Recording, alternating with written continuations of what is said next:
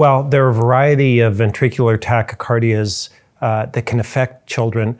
Uh, some of them have congenital heart disease, others have entirely normal hearts. These are often asymptomatic, but occasionally they need treatment.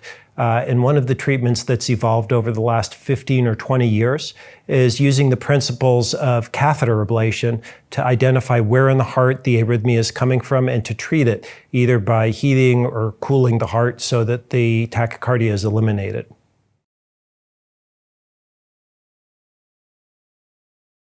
Well, over the last 30 years or so, we've gotten to be extremely proficient at treating SVT.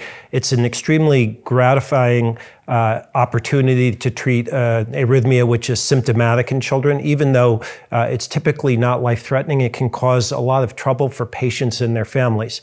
Now, there aren't very many areas in medicine where you can actually take somebody into the uh, catheterization lab and in the course of a morning or an afternoon permanently cure them of their arrhythmia.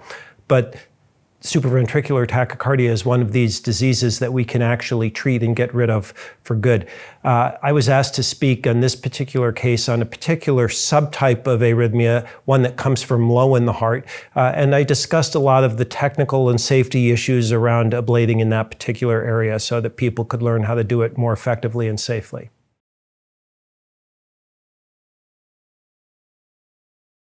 Uh, the specific topics of the presentation involved some of the technical issues about ablating in this particular spot in the heart, and also some of the things that we need to worry about, such as the anatomy of various structures of the heart, like the coronary arteries and the, and, uh, the vein of the heart, the coronary sinus.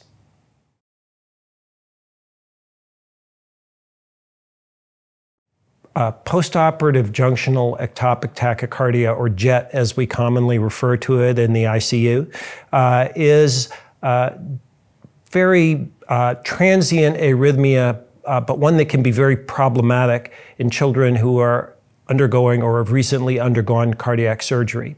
Uh, it's a difficult arrhythmia to treat and it can really significantly complicate the course postoperatively in the first one to four days after their heart surgeries. So it's been a mission of ours in our field for decades now uh, to try to find safe and effective drugs that we can use and other techniques uh, to ameliorate this type of problem, to make it uh, possible that kids can get up and out of the ICU and back to their regular lives more quickly.